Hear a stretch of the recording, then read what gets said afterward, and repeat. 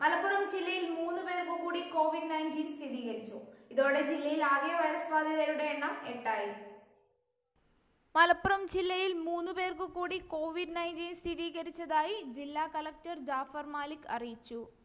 കൽപ്പകഞ്ചേരി കമ്മനം സ്വദേശിയായ നാൽപ്പത്തി ഒമ്പതുകാരനും തിരൂർ പുല്ലാർ സ്വദേശിയായ മുപ്പത്തൊമ്പതുകാരനും വണ്ടൂർ അയനിക്കോട് സ്വദേശിയായ മുപ്പത്താറുകാരനുമാണ് രോഗബാധ സ്ഥിരീകരിച്ചത്. ദുബായിൽ നിന്നും ഷാർജ വഴി മാർച്ച് ഇരുപത്തിരണ്ടിന് രാവിലെ ആറ് മുപ്പതിന് തിരുവനന്തപുരത്തെത്തിയ എ ഐ തൊള്ളായിരത്തി അറുപത്തിയെട്ട് എയർ ഇന്ത്യ വിമാനത്തിലെ യാത്രക്കാരനാണ് വണ്ടൂർ അയനിക്കോട് സ്വദേശി. ഇയാളിപ്പോൾ തിരുവനന്തപുരം മെഡിക്കൽ കോളേജ് ആശുപത്രിയിൽ ഐസൊലേഷനിലാണ്. കൽപ്പകംചേരി കമ്മനം സ്വദേശി മാർച്ച് ഇരുപത്തിരണ്ടിന് ഇ വൈ ഇരുന്നൂറ്റി നാൽപ്പത്തഞ്ച് ഇത്തിഹാദ് എയർ വിമാനത്തിൽ ദുബായിൽ നിന്നും രാവിലെ എട്ട് മണിക്ക് കരിപ്പൂർ വിമാനത്താവളത്തിലെത്തി.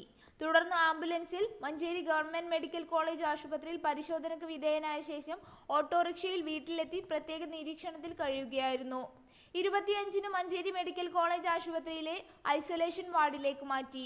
തിരൂർ പുല്ലൂർ സ്വദേശിയും മാർച്ച് ഇരുപത്തിരണ്ടിന് ദുബായിൽ നിന്നാണ് എത്തിയത്. രാവിലെ ഏഴ് മുപ്പതിന് ബാംഗ്ലൂരിലെത്തിയ ഇ കെ അഞ്ഞൂറ്റി അറുപത്തിനാല് എമിറേറ്റ്സ് വിമാനത്തിലെ യാത്രക്കാരനായിരുന്നു. ബാംഗ്ലൂരിൽ നിന്നും ടെമ്പോ ട്രാവലർ വാഹനത്തിൽ കേരള അതിർത്തിയിലെത്തി.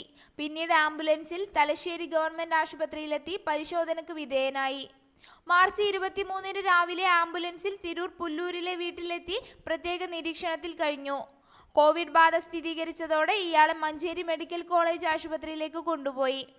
ഇവർ സഞ്ചരിച്ച വിമാനങ്ങളിലെ യാത്രക്കാരും നേരിട്ട് സമ്പർക്കം പുലർത്തിയവരും വീടുകളിൽ പ്രത്യേക നിരീക്ഷണത്തിൽ കഴിയണമെന്നും ആരോഗ്യ പ്രശ്നങ്ങൾ ഉണ്ടെങ്കിൽ ജില്ലാതല കൺട്രോൾ സെല്ലിൽ വിളിച്ച് മാർഗനിർദ്ദേശങ്ങൾ കൃത്യമായി പാലിക്കണമെന്നും ജില്ലാ കളക്ടർ പറഞ്ഞു. നന്ദി.